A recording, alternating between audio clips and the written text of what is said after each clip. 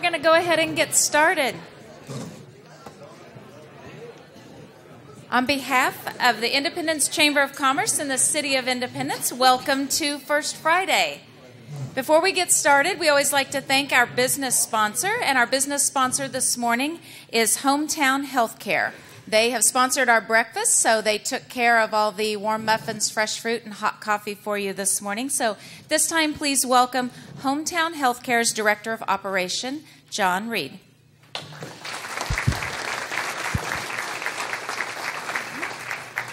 Thank you, everybody, and thank you for the Chamber and the City to allow us to uh, sponsor this morning. Um, I wanted to talk just a little bit about Hometown Healthcare and how we got here in Independence. We have three parts of our uh, company here. Uh, we have our homemaker services, uh, which we call home care, um, and it is where we can send some people out. We cover all the home and community based services through Medicaid, uh, the through the Area Agency on Aging. We do the Senior Care Act and older Americans. We all of our VA services. Uh, we love to serve our veterans, um, as well as our private pay. Um, a lot of other what we do and what we focused on is our home health side, hometown home health, uh, which we try to keep everybody healthy and happy and safe in their homes for as long as possible. We can provide all services in the home. We have nurses, we have aides, all therapies that we can put in the home physical therapy, occupational, speech. We also have a dietitian on contract as well as a respiratory therapist. Um, and then the newest part of our program is our hospice program. And uh, we have an amazing team uh, on our hospice side. They um, uh, work well. We have not only the nurses and the aides, uh, a social worker, and a chaplain. Um, and they do a very good job um, out in, in fact, I say amazing job out into the, the uh, homes. Uh, hometown was actually started just a hop, skip, and a jump up here in little old Fredonia, Kansas, um, by Debbie Schenkel. Uh, Debbie is the owner and administrator. She's also an RN, and by being a nurse, when she started this company, it was all about the patient, and that patient first philosophy has carried through to the company to where we are today. Uh, currently, uh, we have six offices. Uh, we never expected to grow out of Fredonia, but we have. Uh, everywhere we've been, we've been asked to come there um, to bring those services to the communities. We become a part of the communities. Um, and uh, so keeping that patient uh, as our priority is how we continue to grow. Uh, when we came here to Independence, we were watching, like everybody else was, what was happening with the hospitals.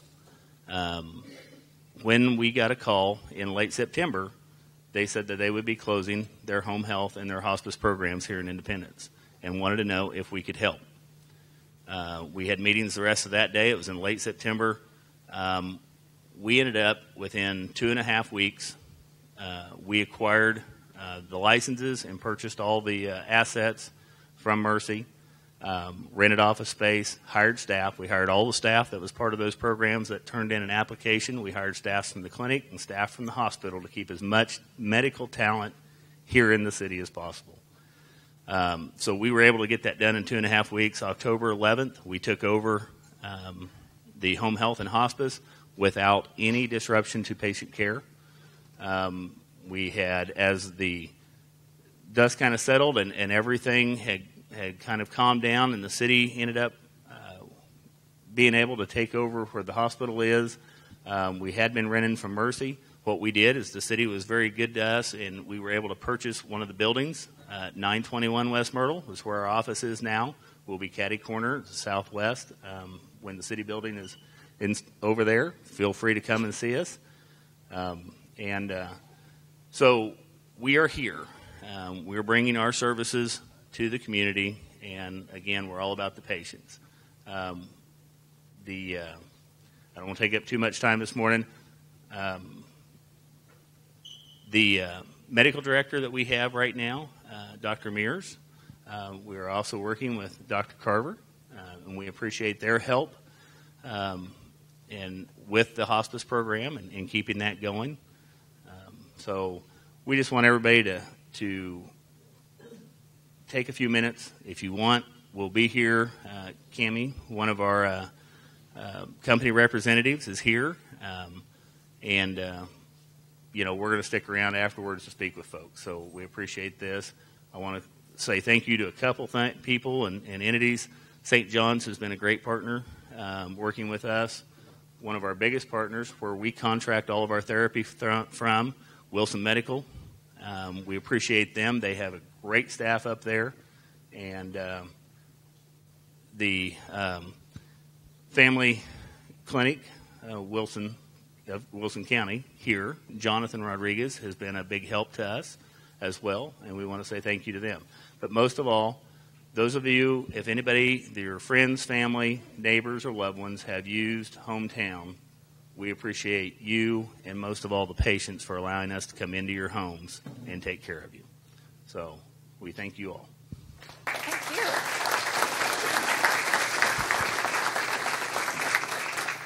Thank you. And we uh, we appreciate you being a part of the business community. We look forward to doing a ribbon cutting for you as new chamber members in the near future. So, um, as I was saying earlier, First Friday is co sponsored by the City of Independence and the Chamber of Commerce. And it's a way for us to come together every month and just share information. And as I always talk about on the back of your um, program, because on the front it, it's a, a, listing of all the great speakers, but on the back is a very detailed uh, calendar listing of everything that's happening in the community June and July.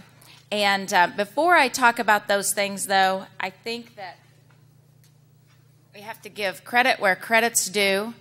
And Joanne Smith did this amazing newsletter from the City of Independence that you all have probably received in the mail.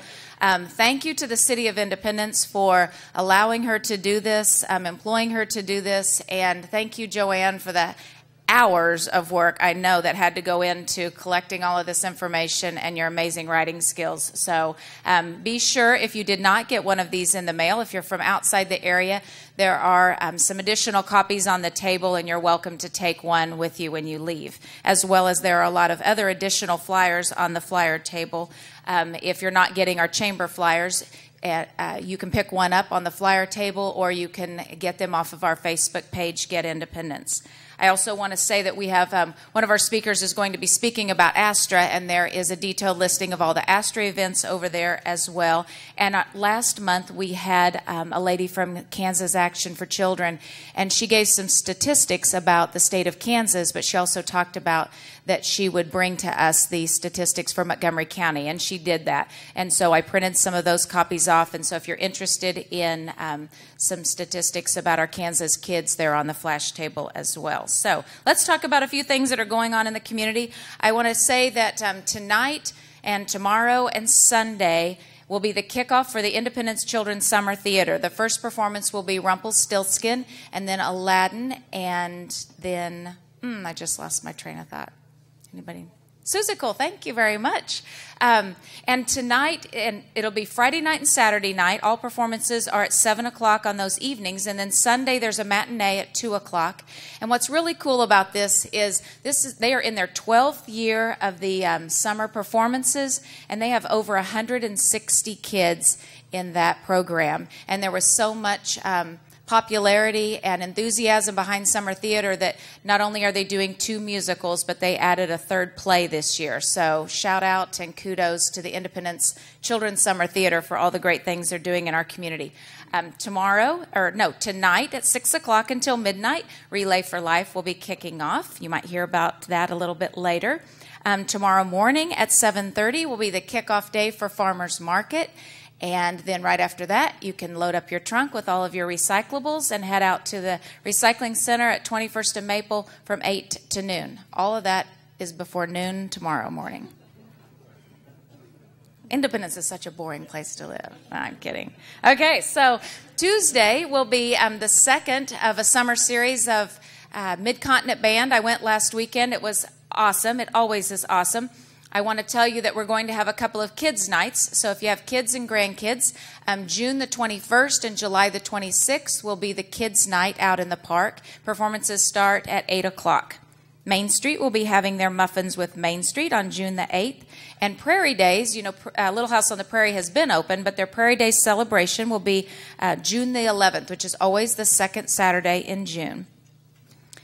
Chats with the chief. I saw the chief. Jerry's in the room. So, Chief Harrison has already had one chats with the chief event um, at Annie Mae's for the early risers. For the people who would like to come after work, he is um, going to have uh, an ev- uh, a chats with the chief scheduled for June the 15th at Uncle Jack's at 5:30. All Wheels Night will be June the 17th. The Verdigris Valley Art Exhibit will start later in June, the 24th, and run through uh, July. And then Downtown Movie Night was a huge success last weekend, and we will be having five of those. So we have four more left. They're on the last Saturday of every month through September, and the next one will be Minions. Pre show activities will be at 8 o'clock, and the uh, movie will start at 9 o'clock. You will be hearing more about Astra and that's going to be uh, starting before we know it. So let me say that if I missed any important dates on the calendar, we will be flashing that out and posting it this afternoon. So let me know if you see any errors or any changes or additions to that. Also, know that we do a community calendar on the radio. So if you have some events you want me to publicize, feed me that information and I will do so. And um, comment cards are on the tables. Please uh, fill those out, write down little ideas that you have for speakers. We always have great speakers, and we'll pick those up at the end. Um, looks like there's still plenty of fruit and muffins, coffee. This is a relaxed event, um, so please uh, uh, hop up if you need extra coffee during the, the event. But um, at this time, we're going to start with our speakers, and they will each speak. And if there's time left in their allotted time, we'll answer questions. If there is not enough time and we have to move on to the next speaker, we'll ask those questions at the end. And so you're free to um, ask questions about to the speakers as well as at the tail end. We'll do one minute announcements, and you can share things that you want everyone to know that's going on in the community. So. Well, let's get started. Our first speaker is Chris Hammerschmidt. He is the Elk City State Park manager. Please welcome Chris, who's going to tell us all about the 50th anniversary out at the park and all the events that are scheduled for later in August. Please welcome Chris.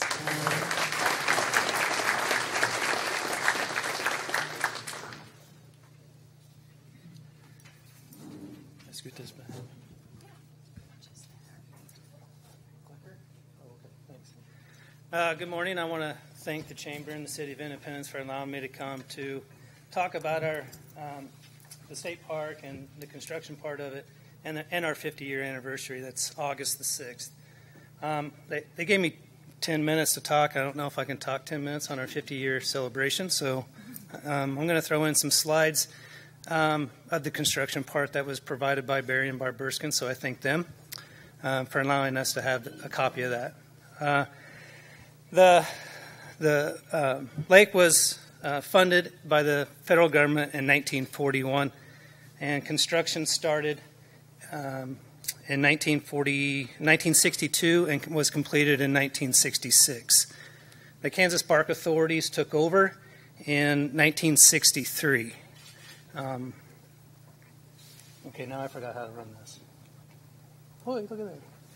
With, um, with the completion of, of, the, of the dam um, it created Elk City Reservoir.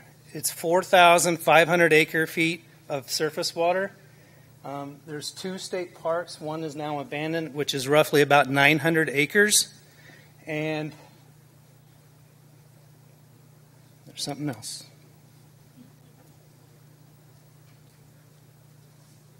I forgot what I was going to say. Well, anyhow, um, there's three main rivers that contribute into the, the reservoir, which is Elk River, Card, uh, Card Creek, Ch- uh, Chetopa Creek, and Casner Creek, um, which play a major role into the, the construction or the filling of the lake. Um, the dam itself is roughly 4,800 feet long and roughly 107 feet high. Um, This is the outlet channel, or this is the inlet part of the at the bottom, and it's going north, which is the outlet channel. Um, this is the gate tower, and it's it you're facing south, so you're facing out into the lake and, or into the reservoir.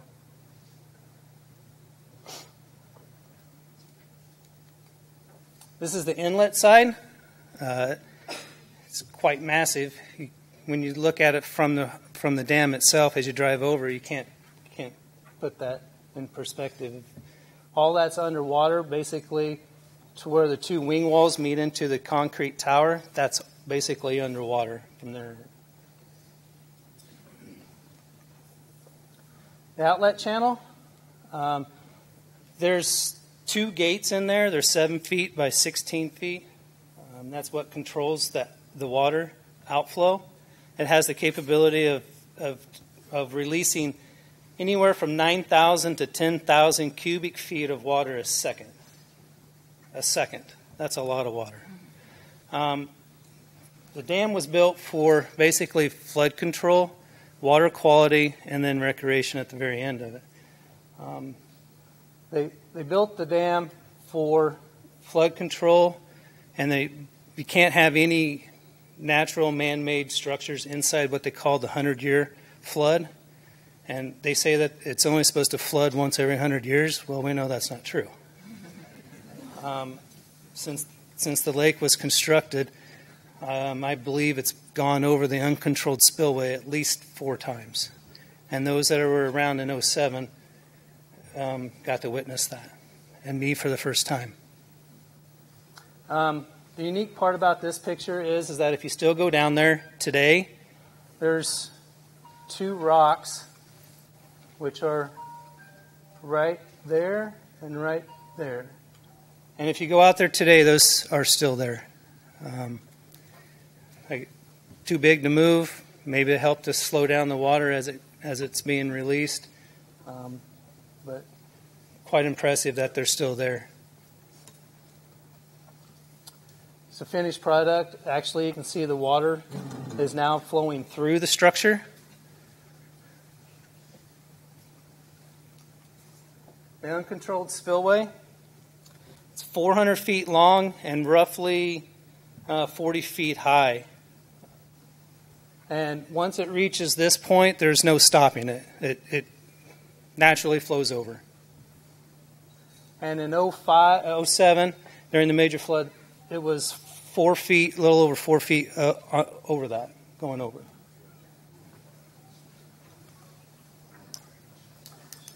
This is kind of a unique picture. It's, now we got in, I'm getting into some older pictures. The, the white rock, basically, the, the park entrance is about right there and then the uncontrolled spillway is right there. And this is what we call the rim dike. Um, basically, used it's a smaller version of the dam. It's used to help keep the water from going into Independence. And for those that don't know where you're at, this is Langsdairy Road, which is County Road 3325. Just a brochure of the dedication of the lake back in um, 1966.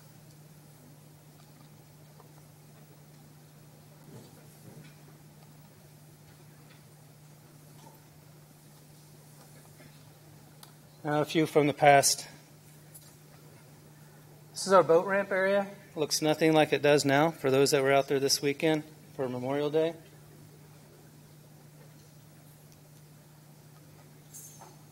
Still a three lane boat ramp.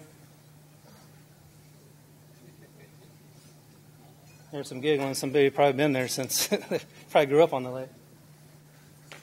This is uh, this is back in October. They were still celebrating the Neewollah campout back then, and this I believe in 70, 74.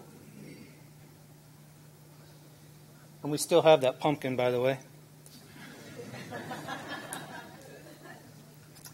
Um, Back then, they were allowed to camp and move about wherever they wanted to go. Not so much today.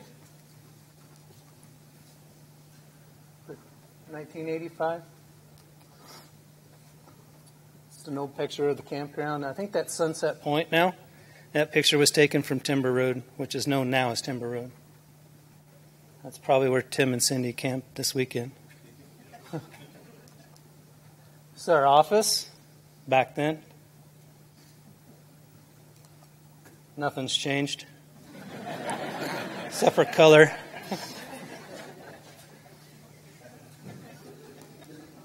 Things have changed for our campsites. They're all hardened surface, asphalt.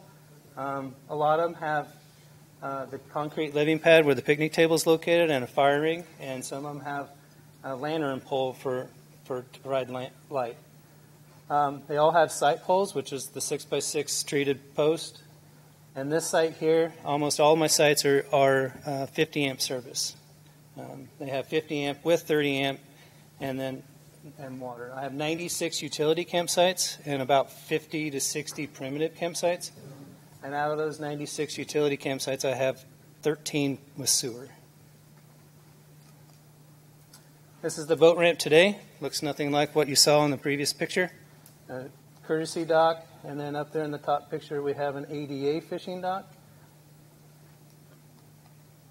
Another courtesy dock used for overflow, basically and our playground. We have this one is a pour in place rubber. It meets all the safety standards that are by the state. Um, you get out there, it's like it's really squishy. It's they can withstand. Well, the kids can withstand a, about a six foot fall and not get hurt. I've seen one land on their head and get up and run off. A lot tougher than me. I would have laid there in the ache and pain for a while.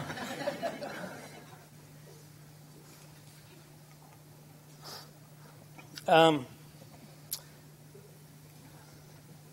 Elk City is pretty well known for its trail system. Um, we have the 15 mile trail, which is the Elk River Trail. It's 15 miles one way. Um, it follows from the west side of the dam and goes clear over to the town of almost to the town of Elk City. Um, that's well known. It's uh, nationally known. And our other trail, which is the Table Mountain Trail, it's two and three quarters one way. It starts in the state park, goes over to the overlook, and then two and three quarters mile back. I don't know how many times we've had, hey, do you, can you get a ride? Not a taxi service, but well, do our best. Um, August 6th is our big day, and we're going going to. Uh, it's a free day. We're going to correlate that with our OK Kids event. Um, it's free. Um, we're just having another small dedication for um, the 50 year anniversary of, of Elk City Reservoir. Um, in the morning hours, we'll have a meet and greet, and then some of the Corps of Engineer people will come and talk about probably some of the things, same things I talked about. And then in the afternoon, we're doing kids events, um, canoes, kayaks, um, water balloon launching, you know, things like that. Um, I hope to see you all there. If you guys have any questions, I'll be more than happy to answer, best of my ability. Thank you.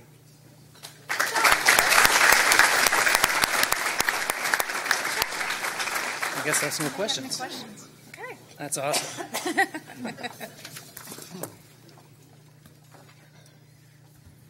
All right. So it's always, I love to have um, all the speakers at First Friday. It's always interesting to hear about all the things that um, we have in our community that sometimes we're unaware of or that we take for granted. It's just a good reminder of all the community treasures that we have. So we're thrilled about the park and, and um, and your big 50 year celebration. So look forward to August the 6th. All right, our next speaker is actually an unfamiliar face to town. Um, he is the Community Relations Advisor for Enbridge Pipeline. Please welcome Brent Rush.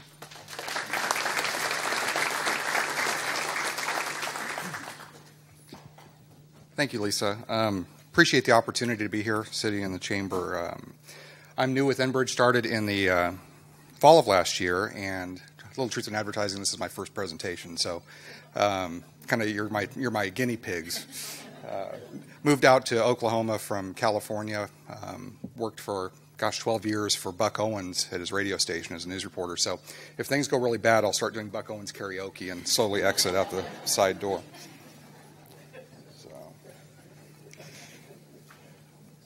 So, um, being a large corporation, and I hope smaller businesses, everyone does this too, we'd like to start off with a safety uh, moment. Um, I'm moving into a new home, um, and I want to just remind everybody. You know, sometimes at work we really get focused on safety. Be sure to take that that message home as well.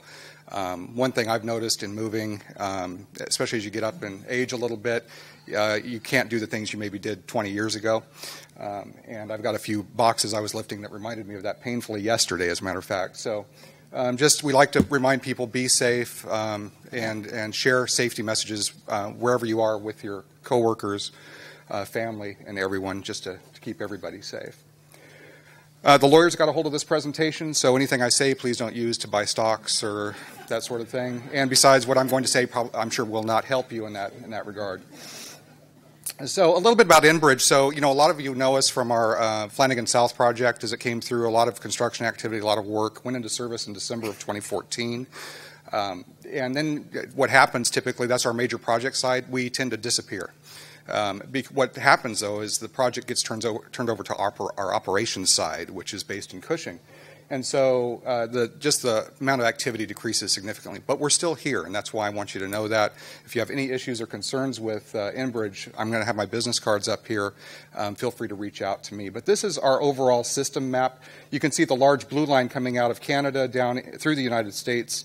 Um, is our, what we call our main line, and where we are is part of the mid continent region, which um, covers portions of Illinois, all of Missouri, Kansas, and Oklahoma. And my territory that I cover is Oklahoma, Kansas, and Missouri. So it's a lot of a lot of territory to cover. So I try to get here as often as I can, and want to stay engaged with uh, with all of you.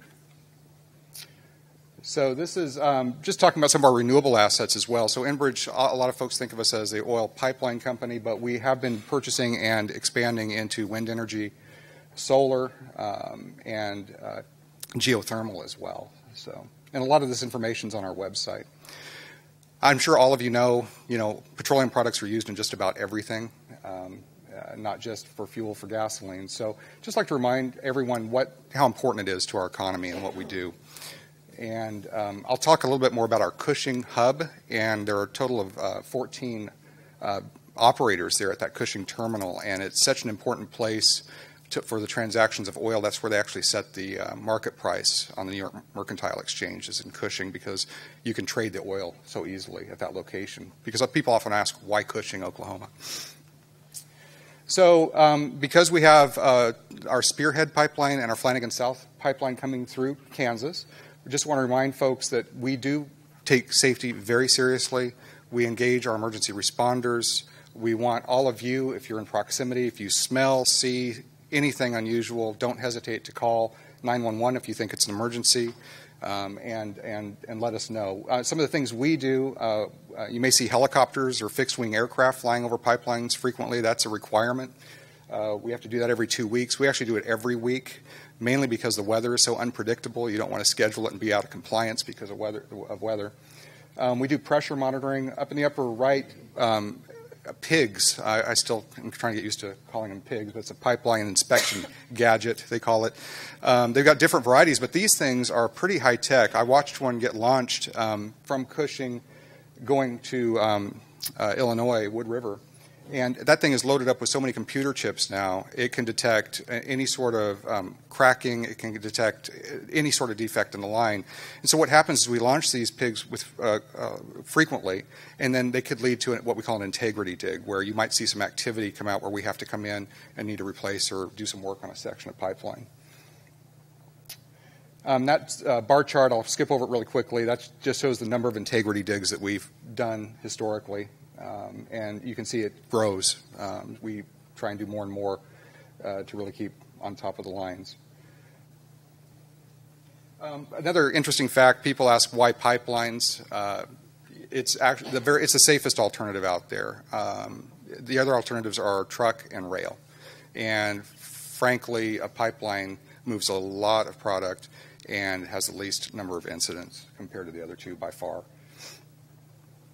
So our region, this is the map, and shows you everything where we cover all the. Um, you see our pump stations are outlined there in bold. Uh, we have our southern access extension going through Illinois. That was just completed and put into service last fall. Our Ozark pipeline um, runs from Cushing up to Wood River up to refineries near St. Louis. That is uh, went into service actually in 1951. And then we have our Flanagan South line and our Spearhead line, which uh, pass through this area as well. And the Flanagan South has a, a significant capacity. So the Cushing Storage Hub, uh, just want to briefly talk. If you ever go to Google, Google Maps, it's kind of interesting because it's fascinating. We have 88 storage tanks there, just Enbridge, and there are again 14 companies that are located there. So that's where they do set the price, and that's why it's such an important part of the uh, infrastructure for moving oil in North America. Those are some of the other companies that are out there. We used to be the top uh, number one in capacity at Cushing. Matrix just, um, or I'm sorry, Magellan just, or sorry, Plains, Plains just passed us up. Plains Magellan have been building quite a bit there. But you can see two, two million barrels, two to three million barrels move through that facility every day, just based on trading largely. So Kansas, I, we just got some numbers for last year. These are all last year's totals. So the salary, 229,000. I think we have three to four employees in Kansas, um, right-of-way technicians um, monitoring the property. And then the biggest benefit to Kansas, obviously, is in property taxes. And then we do a lot of capital and operating expenditures in the state as well. And if any of you are interested in doing business with Enbridge, come see me afterwards, and I can share you. It's a bit of a process. If any of you worked with in the corporate world, getting that information or getting into the system, but I'm happy to work with you on that. So these are the uh, lines here through Kansas. Shows the diameter of the lines, the distance, and the capacity on those lines. Uh, lastly, just want to remind you 811, call before you dig. I get in trouble if I don't mention that. And frankly, that's our biggest concern out there is somebody striking one of our lines. But not just for us, it's for anybody, natural gas lines, anything. You just don't want to be digging if you don't know what's uh, under the ground. So be sure and call if you're, if you're doing any excavating work. Uh, this was a picture I took recently up in Allen County. We are working with uh, the Allen County Community Foundation with emergency responders on grant programs our Safe Community Grant. We provide up to $1,250 a year to all of the emergency responders to help them buy equipment and things that they might need so that that gets them in good shape or helps them in a response. But the foundation is actually helping them with the grant writing process. So if you know of any emergency responders, they want help with the grants, have them get a hold of the foundation. They're happy to help out. And that's actually in Tulsa. So we do community investment grants as well. So we have not done one in this area. If you know of a community need, again, come see me afterwards, and I can give you the link. And don't don't rush me too much. Uh, limited amount of funds, but we will we can work with you if there's a, a, good, a good community project here, and we renew those funds every year.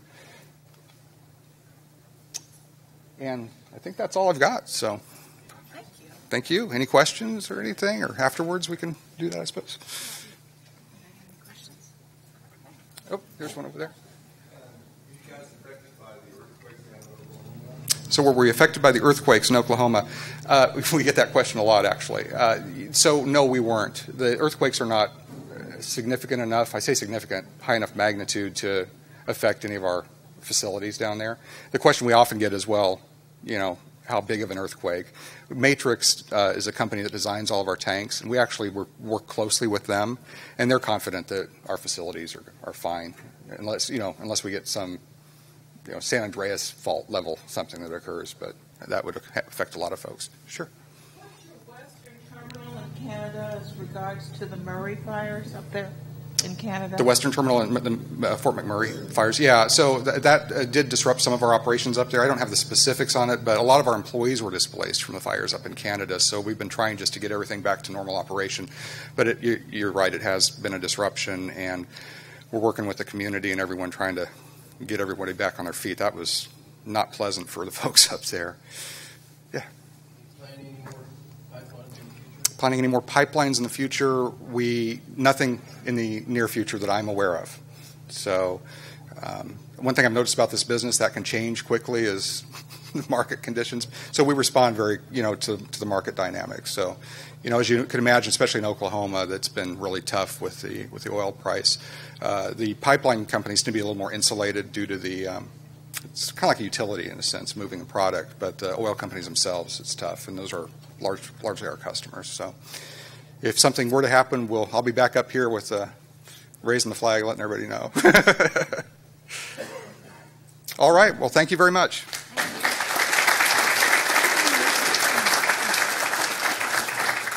Well, thank you for traveling to Independence. We appreciate your time, and we definitely appreciate the economic impact that the pipeline project had on our community and surrounding communities a few years ago. So, thank you for that.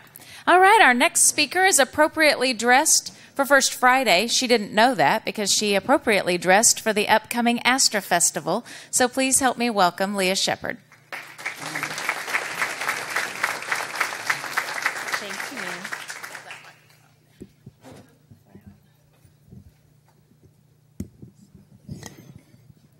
Uh, that's a little better.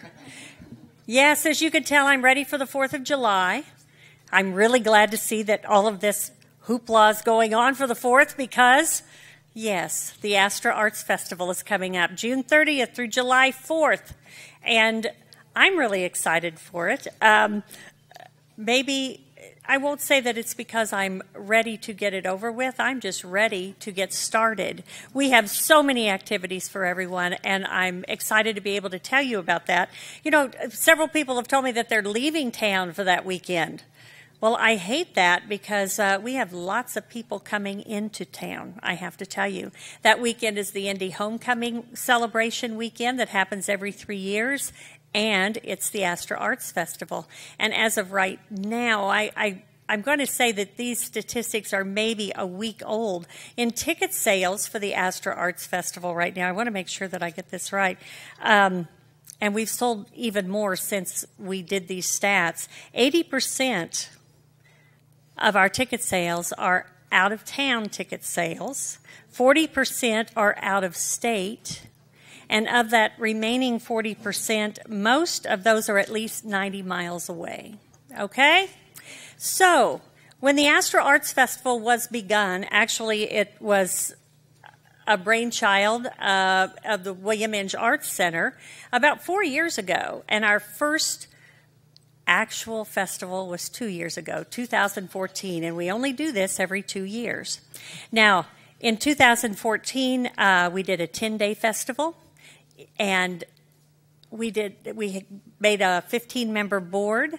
We did lots and lots and lots of work had lots of volunteers and it actually was a pretty good success. And at that time we decided you know let's try it again so 2016 we're ready again. We have again 15 board members. Could i have the board members and some committee people? Could i know you're here. Could you raise your hands those those people who have been working on the astra arts festival please? We have board members. Okay. Thank you, and thank you for all your help with this. Thank you, too, to our sponsors because we have now moved out from the umbrella of the Inge Arts Center. We still partner with them. But we've gone out on our own now, and we are, are our own 501c3. So I want to point that out.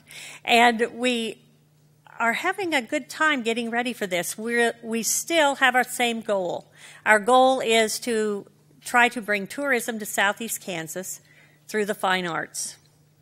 Now, the four areas that we really deal with visual arts, music, literature, and theater. So, hopefully, we're going to be giving you quite an array of things, but we've cut it down to five days. We were exhausted after 10 days. But five days, we're planning in those five days, though, to really compress it all, and it's going to be it's going to have quite a festival attitude. So we're excited about that. Now, some things to go that I probably need to go over the highlights. Uh, first of all, we have music we have committee chairs that are in charge of this, and I need to say this is it's a lot like Neewollah. We're all volunteers, all of us. Ray Rothgeb and Don Farthing are in charge of the music organization this year, and they have a great committee that's put together quite a lineup for you, I think. Just some highlights I want to hit. Tonic Sol-fa, June 30th, is going to kick off the festival that night upstairs. And they're an a cappella group, awesome group. You should give them a listen online, they're great. Friday night, we have Ernie Haase and the Signature Sound back in town. Ernie Haase was a gospel group. They were here last time that we had the festival. They were so popular and have a great following, and they'll be back upstairs again Friday night. Saturday, well, one thing I might mention on Friday, we also have um, a friend to Independence, Jana Jae, is coming to do workshops, actually fiddling workshops, if you will check out at the high school. And she's going to, if, if you are interested in that and want to register, um, she's going to be working with students through adults. So you might want to check on that and see what she has to offer. And then she's going to be giving a concert on Saturday at 6 o'clock. Saturday is jam packed because after that concert at 6 o'clock, at 8 o'clock, out at ICC at the Inge Theater. We have Diva Dish. Now, not music, but uh, I'm to I, I want to put that in right now because that's theater. Okay, And you know that's kind of my thing. So I want to be sure that I put that in too. But uh, later that night in here, nine to twelve, we have Big Shed and the Mystic Funk Machine. He's here for the dance uh, to partner with the Indie Homecoming Group, and I think that he's going to rock the house. If you haven't heard Michael Mothershed, a native of Independence, I will tell you right now, his group is awesome, and uh, you'll be able to hear them here. Then uh, more music. We have the Bells of Praise Bell Choir on Sunday, and also the Reuter Pipe Organ Concert at the Presbyterian Church. And then Monday, the Mid Continent Band plays for the firework display. So all that is just music, all right? Theater, I mentioned to you the Diva Dish activity. It's Luke Yankee. He grew up, uh, well, you could go online and check that out. I don't want to get into this too much. Luke Yankee's been here many times for the Inge Festival. Great friend of Independence as well. He does a multimedia presentation um, and, and acting talking about his mother, who was Eileen Heckart. She was in several of Inge's productions, and she was in so many things. And with that, he dishes on the divas, all the actors and actresses that you know that he grew up with, and it's it's a great presentation. In addition to that, we're going to be having storytellers and uh, some magicians from um, involved in that in, in some of our activities downtown too. Literature. Lori Martin and Heather Maidosh are in charge of literature, and I have to tell you, it's amazing the things that they have lined up. We do have an evening presentation, and the evening presentation is Sunday night out at ICC at the William Inge Theater, and that is um, David Lee, poet laureate, and we have an evening with the poet, and it promises to be terrific. And then we have tons of free workshops that uh, we've brought in authors, self publishing workshops. Jim Fisher and Rob Morgan have a haiku uh, presentation that they have. We have so many things going on with that. And I want to mention visual arts right now, too, because one of the activities that they have, they worked on together. Visual arts was headed by Leanne Stewart. And with that, they have what's called a lit and art crawl. Now, the um, the literature group also has a wine tasting activity. Area wineries are coming into the Booth Theater Friday afternoon. And then after that, will be the Lit and Art Crawl. We're all going to stay downtown and we will move actually from one business to another. And in those businesses, you will hear authors and poets present their work. We also have I, I, can't even begin to tell you how many things uh, Amy Bloomfield and Sue Landwehr have worked up for us downtown. We're going to have a trunk show. Area artists will have photography, uh, sculpting, everything for sale. Plus, we'll have lots of demonstrations going on on the street of different art activities. So, all that's going on. One thing I really need to hit on is with all those people in town for the 4th of July, the kids. There's stuff to do for the kids, I promise. On Sunday, you need to hit the park because out in the park we have Kids Discover Art in the Park. It's not the old art in the park. I'm sorry, that was great. This is the Kids Discover Art in the Park. We're going to be located in several buildings. And in those buildings, we uh, kids, I believe, ages four through 12, can engage in making uh, art projects. I believe there's two projects for each age group, and between one to four, you can head out to the park with the kids and make sure that they. Uh, it's all free. Get in and take part in that. There's also an art um, exhibit out there excuse me, called the Monster Exhibit at the Shelter House. It's a, a juried art contest with students, so you need to check that out as well. There will also be um, every lunchtime, Thursday through Saturday, in our ticket headquarters, which will be at 212 North Penn. And our ticket headquarters open June 16th. All right, June 16th, coming up. Um, at our ticket headquarters from 11 to 2, Thursday through Saturday. We're going to be doing, uh, having kind of a, a, musical presentation plus some storytellers. And we have area people who will come in, bring your lunch in, have fun. Um, let's see. I don't want to go on too long. Oh, Verdigris Valley Art Contest, of course, is ongoing. We have a writing contest that's ongoing. Please check us out at www.astrafest.org. If you go to our Facebook page, Astra Arts Festival, Shelby Demos doing a great job of keeping that up.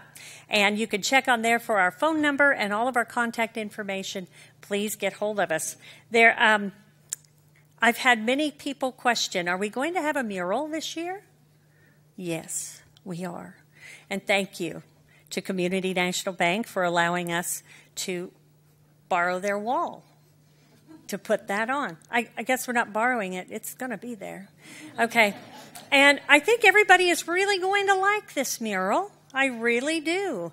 You know, it kind of has to go with uh, independence and Fourth of July and patriotism and things like that. I think everyone will enjoy what we have. We have a professional artist, uh, muralist, Heidi Sallows, who's coming to town, and she will be doing all the painting on that.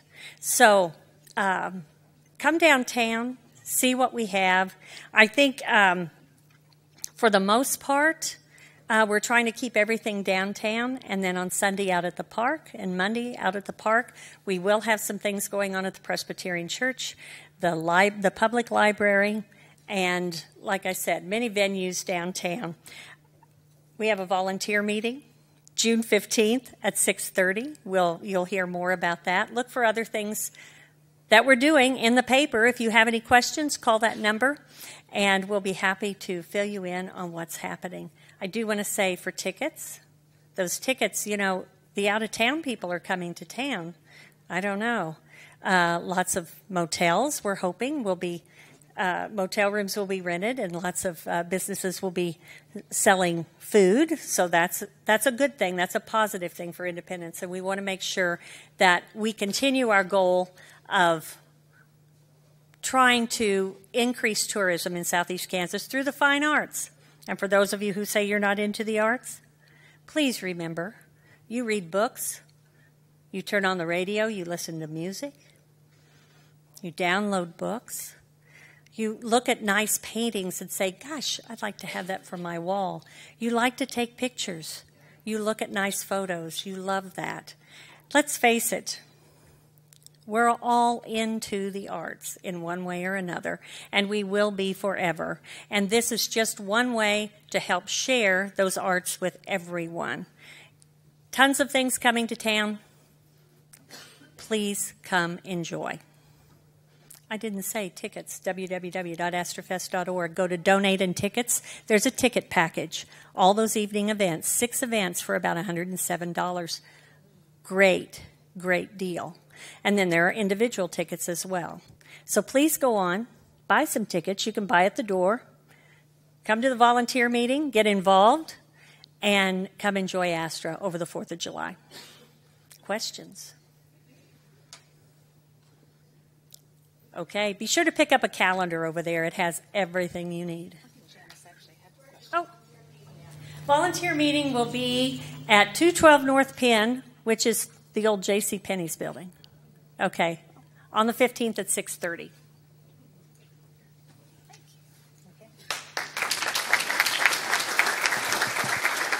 Thank you, Lea. And thank you to the 15 board members for Astra and the numerous volunteers that, uh, that will make Astra festival, uh, another great success. I think that is is awesome. We're excited to see the community swell on June the 30th through the 4th of July. All right. Our last speaker has been to the podium before. She is representing the Young Professionals of Independence as a young professional herself. Please welcome Joslyn Kusiak from Kelly and Kusiak Law Firm, who will be talking to you all about the great things that are happening with the Independence Young Professionals. Joslyn?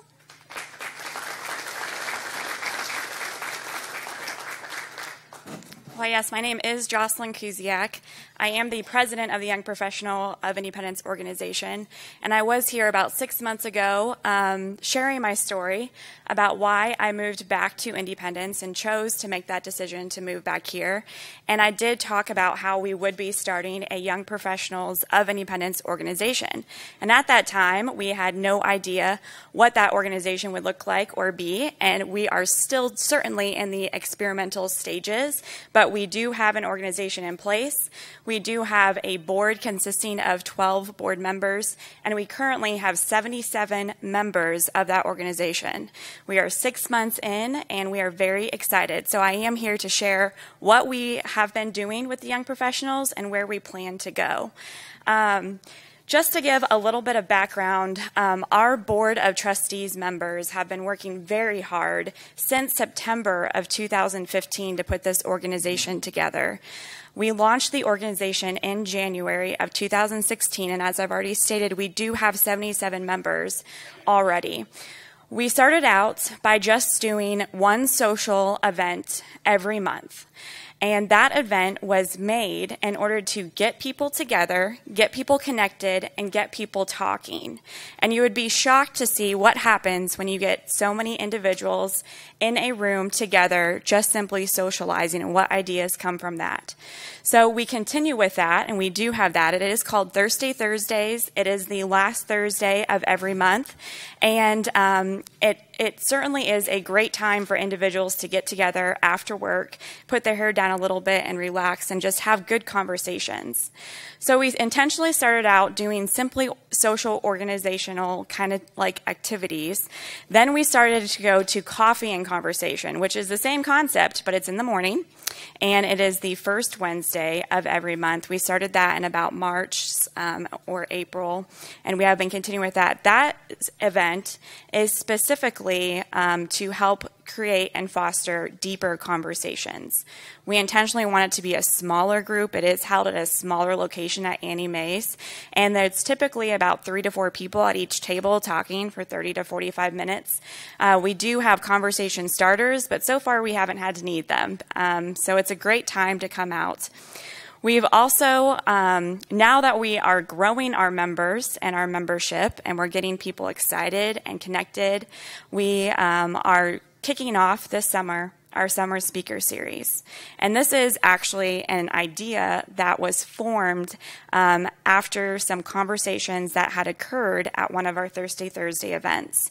And what we're simply doing is we have three speakers, um, one each month in the summer, and it's over the lunch hour. And these speakers are talking about their experiences and what their life is like and sharing some sort of inspirational story. Um, it is very exciting, and I'm very much looking forward to it. it that is going to be a members only event, and the sponsorships that were selected are going to be paying, so it will be uh, free of charge to members.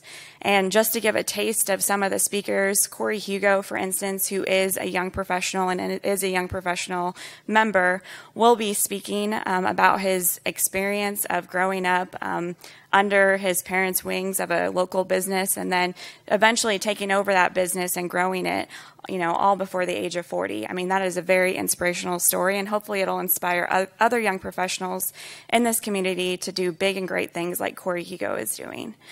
Um, we also have had some professional development events. Um, we've had one specifically at the Fab Lab, which who here has been to the Fab Lab? right? Okay, great amount of hands. It is absolutely amazing. Um, so we took our membership out there and we got one-on-one tours of the facility. We got to play with Tinker Toys. I mean, it was a really good time. Um, and we do have two other professional development events in the works for fall as well as winter. So, let me tell you a little bit about why the young professionals are doing what they're doing and the way we're doing it of in sense of the board's direction. I think a lot of people in the community are wondering, well, you know, when are you going to start X and when are you going to start Y? Um, I know Mandy, who is our representative at the chamber, and myself as the president, we are constantly being flooded with individuals and other organizations in this community asking us to somehow get our membership involved in the other areas. And right now, now our response, and it continues and will continue to be at this time. If you have something to present, please give us something in writing, and we will certainly find a way to get that out to the members. But we're currently not attaching to any specific other organization in town because we are a brand new organization and we need to grow within ourselves before we can grow outside of this community and be an even bigger hit here. And so we do appreciate the community certainly reaching out to us, supporting us, um, and already counting on our responsibility and getting us involved. But I do want to approach that and let you know that is why we're doing what we're doing in the sense of let's grow our organization itself and our members. Let's get them connected. Let's get them excited. Let's grow some friendships within our organization so then we can be an even more powerful hit outside of this community and inside of this community. So, with future events, another big thing that we do have coming up, and again, this is something with time and patience, is we are going to have an all members meeting in the fall. And currently, um, the events that are being planned and that are taking place are all planned by the board members. Like I said, there's only 12 of us. Um, a lot of us are business owners, a lot of us are already on other boards, and so our time is very, very precious to us. And so we are certainly um, planning these events right now all ourselves with a lot of energy and a lot of gusto, and it, it's going very well. But at this all member meeting in the fall, we hope to get members involved in our committees to help us actually plan these activities and direct the organization where the members wanted to go. Um, so, with that, I would say to all of you, we certainly appreciate those in this room who do fit in the 20 to 40 ish age range that are our members. Um, and we look forward to you becoming a member if you're not. Um, additionally, I see a lot of faces in here that are uh, managers or business owners who have not only encouraged their young professionals in their organization to become members, but they have also paid for that membership for them.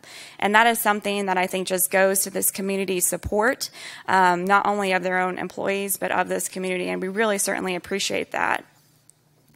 Additionally, just throwing out some shout outs and some thanks. Um, the Chamber of Independence has been absolutely amazing with helping support us. They, um, that's where our board meets, is at, at the Chamber of Commerce, and certainly offer resources such as Mandy, um, who helps us with all of our marketing, our organizations, getting our list together. It's very, very helpful. Additionally, all of our sponsors. Um, we've had several businesses who have stepped up to the plate. Um, Hugo's Industrial Supply, Yerkes and Michelle's, Express Employment, Commercial Bank, and Community National Bank have already uh, supported our events. And in the future events that we have planned, we have Best Beverage, American Family, Colt Thornton Agency, Advanced Physical Therapy, and Midwest Real Estate. Um, those are all businesses in this area who have already supported us and sponsored us or are going to. And we certainly will appreciate any more sponsors that we can get at your tables. There is a sponsorship form if anybody is interested in sponsoring. Um, and again, thank you so much to the local businesses for um, asking not and encouraging your employees to become members and to get involved um, because we are the next generation that will be stepping up. We certainly look forward to stepping up into the leadership of this community, and there's some big shoes to fill. Um, finally, our future events that we have planned, as always, Thursday Thursdays are the last Thursday of the month. The next one will be on June 30th at Uncle Jack's. Um, we do have Coffee and Conversation July 6th, and that is at Annie Mae's. And we have the Caddyshack Golf Tournament, which is something that's going to be very exciting. It's on a Friday evening. Um, very fun game of golf. This is a event that's free to members due to the awesome sponsorships we've gotten. And if you aren't a member, please sign up, or you can pay the price to um, come and attend as well. And that is going to be on July 8th. So that's basically all I have for now. I would encourage everybody in this room who needs to become a member to become a member and to encourage your staff, your friends, your colleagues to also become members. So thank you very much. And if there's any questions, I'll certainly entertain them at this time. Yes, sir. What do you define as a young profession? Chuck and I qualify. Not you.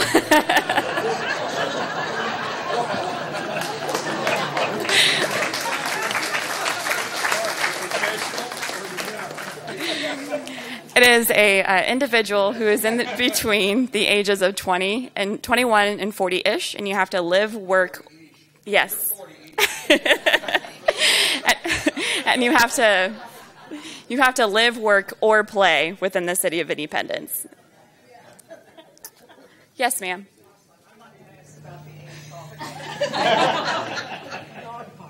Yes. I've been gone. Maybe there's been something in the paper, where are you on that? And that is actually an initiative of Our Turn, which is not associated with the Young Professionals of Independence. Um, and so that is a question more for Our Turn, and maybe that could be a speaker next month. You're welcome. Any other questions? All right, well, thank you very much. Thank you, Joslyn. And, and on behalf of the Chamber, we are very excited about having the young professionals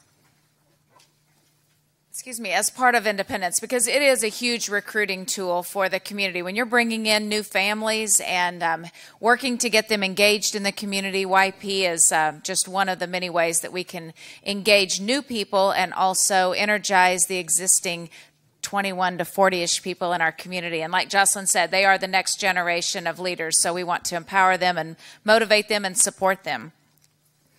So let's see. Uh, we have, are actually at the end of our program. So um, I want to thank our business sponsor again for um, supporting us this morning. We appreciate the information you shared with us. So again, thank you to um, Hometown Healthcare.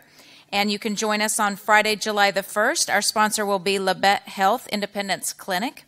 I will also tell you that on the tables, because we have recycling tomorrow, we always have four volunteers out at every recycling event. You can volunteer for just one time from 8 to noon. There's a sheet on your table. If you just put your name and your email address, I will give you a call and try to plug you in in one of the upcoming events and um, we'll get your volunteer hours taken care of down there.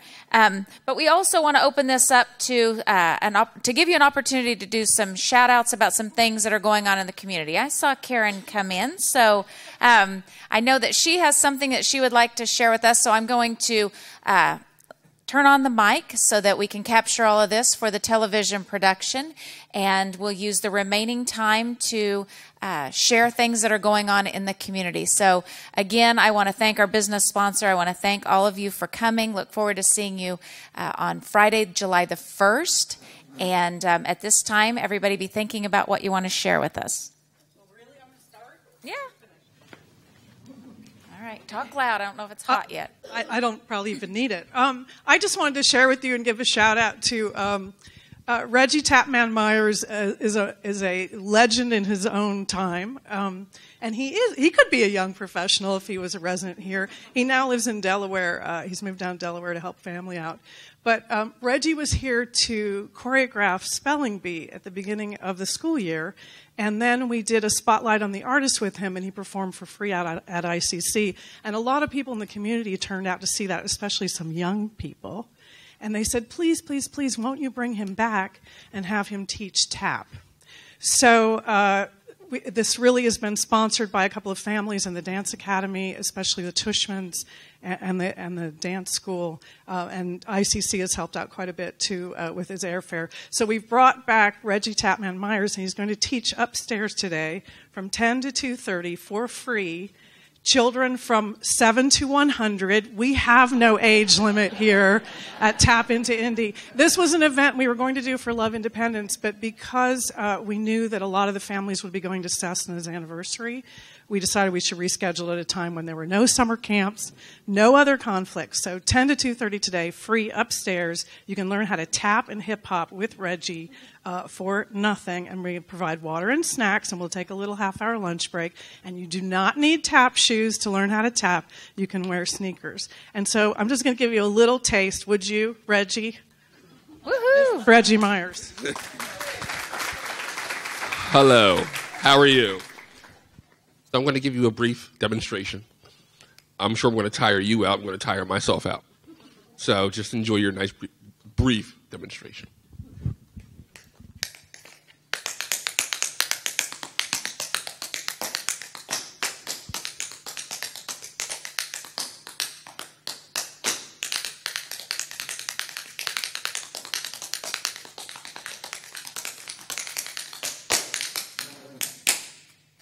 Bravo. Thank you.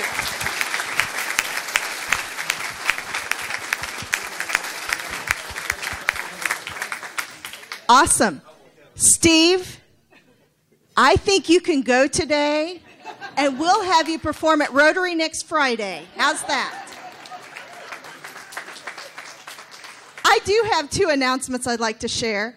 Um, we have um, the Independence Housing Authority, under the guise of Gary Hogsett, brought an idea to us um, in conjunction with Independence Cinemas with Aaron Schrader. And I have a couple of my cohorts here. Um, I have Amber Nisley, Megan Lawrence with Medical Lodges. I'm happy to announce that we don't just celebrate the kids in our community, we celebrate our older children in the community, our seniors. And yes, Steve, Chuck, here we go. I got something for you. We are going to sponsor Independence Housing Authority with Penn Terrace Apartments are sponsoring the first Senior Mo- Movies Day down at the theater. It'll be the second Tuesdays of the month, and you can come down for a free movie. Come with a little pocket change for popcorn and pop. But I'm happy to announce that the first one, we had a lot of the guys at Penn that said, You don't do anything for us. So we are going to sponsor McLintock. So, yes, those of you who are familiar with um, John Wayne, the Duke, come down on Tuesdays, this June 14th, and watch McLintock. Free. Free movie. 10 o'clock in the morning.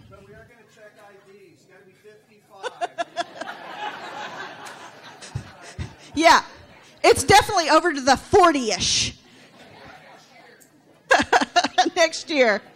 I do have one more announcement. I don't want to take up everybody's time, but I am so excited. It's in your newsletter, but we have a gentleman in this community that I'm thrilled to make an announcement that we're going to be honoring. I invite the entire community to come down for a groundbreaking July 2nd, again at 10 o'clock in the morning. While we have homecoming, we have Astra, we have a groundbreaking for the Robert Augustus Wesley Park that will be constructed across the street from Penn Terrace. Again, it's a focus for our older children in the community, our seniors. So please put it on your calendar, come down and join us for the groundbreaking and honoring Mr. Wesley.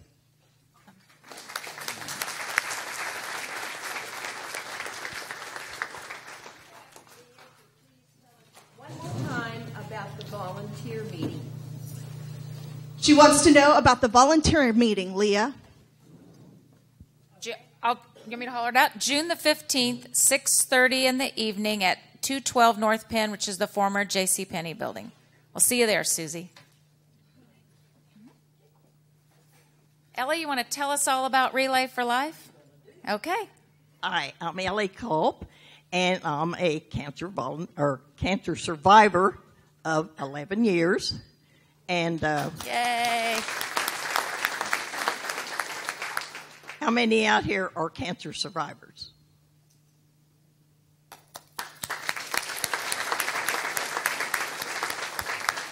If you're not a cancer survivor, I'm sure you're involved with cancer in some way. Somebody in your family, somebody your dearest friend, and uh, everybody is involved with cancer in some way.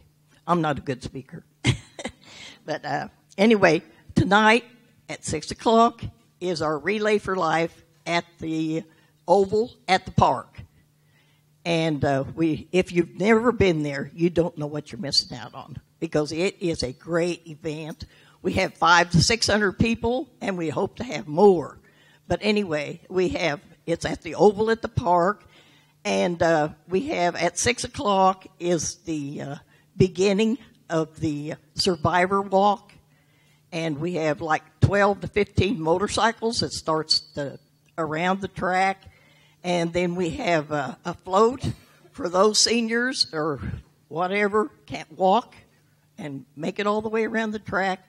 We do have a float. Jim Dittmer uh, furnishes a float for us for all the seniors or for whoever that cannot walk, and uh, after that, then all the survivors and the caregivers walk around the track. So the uh, Relay for Life is a yearly event. We have one every year.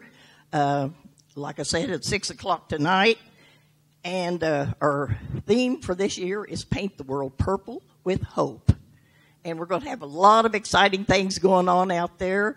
We're going to have things for kids. We'll have things for adults. We'll have something for everybody. Uh, we have a big survivor tent. Uh, me and two other ladies have been in charge of it for 11 years since I am an 11 year survivor. And uh, we have free food for everybody. Everything is donated. Annie Mays is bringing sandwiches for me. And we have uh, Sonic bringing water. We have cookies from Laurel Street Bakery. We have all kinds of food. We have uh, T-shirts and uh, pins and everything for all survivors and the caregivers. So if you're a survivor, you come out and get your T-shirt. Uh, on the back of my shirt is sponsors. So that uh, every member that is a member of the team will be wearing one of these shirts. So as you walk around the track, you'll see all these advertisings. They start at 5000 So if you're a $5,000 donator, which a lot of you are, eh, you start at the top, which is the big print. Mm-hmm. Then we have $1,000 sponsors, $500 sponsors, 250 sponsors, $100 sponsors, and sponsors in kind that give us different things like Annie Mays and different ones. And we have so many people that help out. It's just amazing all the people that do help us with the cancer thing. And uh, since you are all involved, come out and just see what we do. Uh, also, I wanted to let you know that we're going to have the commissioners involved tonight, and it'd be worth it just coming out to see what's happening there. So. I guarantee you it'll be worth it. Okay, uh, we're going to go out. I'm going to go out there now. We set up all the tents. We have uh, the people at the jail that come over and set up all the tents and everything. And we have tables. We have like 50 tables that have to be out here, and chairs and everything has to be set up. The whole oval is a beautiful, beautiful place when we get it all fixed up. Uh, so any of you don't have anything to do today, come out and help us because we have a lot to do. Uh, okay, let's see. Oh, okay, we have a program going on all evening. We have something going on for kids. We have games. We have uh, music all evening. We have a stage. Jim Dittmer brings out a stage, and we have stuff going on all day. Um, bring your money. Sounds Our like a big night. You bet. Hey, our goal is uh, thirty thousand this year, and uh, we're a little over half there. We hope to raise the rest of it tonight, and of course, a lot of it hadn't been turned in yet. But uh, anyway, our main thing is to raise money for cancer. And if you want to be a donor, and if you have extra money you'd like to get rid of, you just come to the American Cancer Society. Thank you. Thank I appreciate you, Ellie. it very much. Thank you. And we appreciate all that you do to support the Relay for Life. It's a very worthwhile cause and affects a lot of people. So, okay, be there. Anybody else want to give a shout out, Tony? You going to talk concert? Okay. Um, for those of you who don't know, there is some information inside the city newsletters on the second page, but the city and the chamber are co sponsoring a concert here in Memorial Hall. It's Shenandoah. Um, they will be here August 19th. Uh, tickets will be available online starting Monday, June 6th. Um, they start either at 1950, 2950, or 3950. Um, we're really excited to have this concert here. We'd like to again bring tourism to Independence and also get some more concerts and more activities here in the hall. So I hope if you all are here or you like Shenandoah, you like country music, or you just like live music, we hope to see you all here. Awesome. We're excited about that. Get your tickets starting Monday. Anybody else? Yeah. Oh, hands are up everywhere. Lana? And Tim, you want to make your way up here so you're ready to roll? Okay. And I'd like to invite you all to participate in the Independence Homecoming program that's happening um, next month. That'll be July 1st, 2nd, and 3rd. Um, right back here on, it'll be family night uh, from 9 to 11:50 right here in the um, City Hall, uh, City Hall, uh, Memorial Hall. Also, um, earlier in the day, after First Friday, we'll be having registration, so you can come and register for any of the events, get tickets and all that good stuff. On Saturday, there's a golf tournament that's going to be over in Sycamore. Um, there'll also be registration back here again, and then there will be a school tour. Uh, there will be funny games out at the Ash Youth Center. Uh, the banquet will be Saturday night right back here at the Civic Center. And then, of course, as you heard um, Lea say, the Function Junction will be here Saturday night to put on a concert and party. And then also there, if you have any kind of talent and you'd like to participate, the Gospel Talent Review will be out at ICC West also Saturday night. And many of you know um, um, Barker. She will be um, putting that together. So if you know her, give her a call and she can get you on the list. Or, like I said, show up here during registration and get on the list and participate. And then Sunday afternoon or Sunday morning, you will have church service right here in the Civic Center. And then that will be at 11 a.m. And then there'll be a family picnic at the 4 H building on Sunday afternoon at 1 o'clock right there in the park. So we're right there in the middle of the Astra Festival, July 1st through the 3rd, right here in Independence. Like she said, we're bringing a whole lot of people into town. So come and see them. A lot of them are people that you went to school with, grew up with. So come on out and have some fun. Thanks, Lana. You can pass that on to Tim. Just real briefly, uh, Chris didn't really touch on this, but out the lake, we spend a lot of time camping out there, as Chris said and the economic impact of that lake. And it's fun. I walk a lot in the morning with my dogs, and I talk to a lot of people, and they are just enthralled with independence. And we send them downtown to the businesses and things, and there's a huge um, following of people that just passing through town. Like, My God, I had never known this town even existed. And one of the other things out there that a lot of you don't know, a lot of you do, best sunsets in the world. Uh, I've been to Jamaica. Everybody talks about Rick Sunset. It's supposed to be the best sunset in the world. We're sitting around going, this ain't nothing. but, and one, one final point. Like I said, I was walking around out there the other day, and there's a young man there on a bicycle. And I started talking to him, and he had a funny accent. So anyway, I got talking to him a little bit more. He was from Amsterdam, and he was bicycling from New Orleans to Portland, Oregon. And uh, we got talking. He said, you know, the people in New Orleans those are not what I think about Americans. So what do you mean? He said, well, they're all fat. he said, I've, I've come into this is what I think of when I think of America, is Independence, Kansas. I mean, it was a fantastic compliment to our community. So get out to the lake, though. Go out there in the evening sometime. There's some nice picnic tables. Sit there and watch the sunset. You'll be enthralled. Thank you. Thanks, Tim. Thank Janice wants to. We'll pass that on. Thank you. Janice? Independence Family Medicine, owned by Wilson Medical Center, would like to invite everybody to come out and celebrate with Wilson Medical Center in Neodesha tomorrow evening at three, or tomorrow afternoon at three o'clock. Three fifteen, we start a commemorative ceremony for our hundred year celebration, and also um, we will also have lots of entertainment in the park. We're going to have a, hundred balloons that we're going to release as a kind of uh, commemorative of our hundred years. Also, um, we have commemorative gifts. We have things for everybody in in um, the family. So come out and enjoy um, your very own independence. Lily Taylor will be performing. We have Terry Peck that will be performing.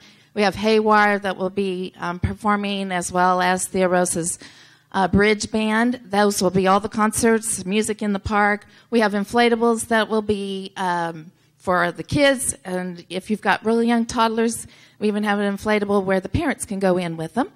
Um, we'll have a dunk tank, and I actually have my come come dunk the CEO.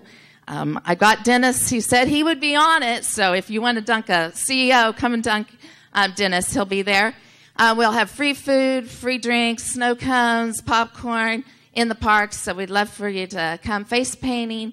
Um, Harky the Clown will be there with um, animal balloons for the kids and adults, young at heart um, everybody. So come enjoy a night. Bring your uh, lawn chairs, and we will have a tent for shades. So come enjoy the evening. Thank, Thank you. you. Thank you. Well, again, this has been an amazing, amazingly packed uh, hour and a half. I thank you for your time. Um, I thank you for your interest in the community. I thank you for all of the um, extra shout outs that you provide at First Friday. And Independence is an amazing place to live. I think we can all attest to that. Montgomery County is a great place to live. And um, I look forward to seeing you all next month. So have a great weekend. Thank you for coming.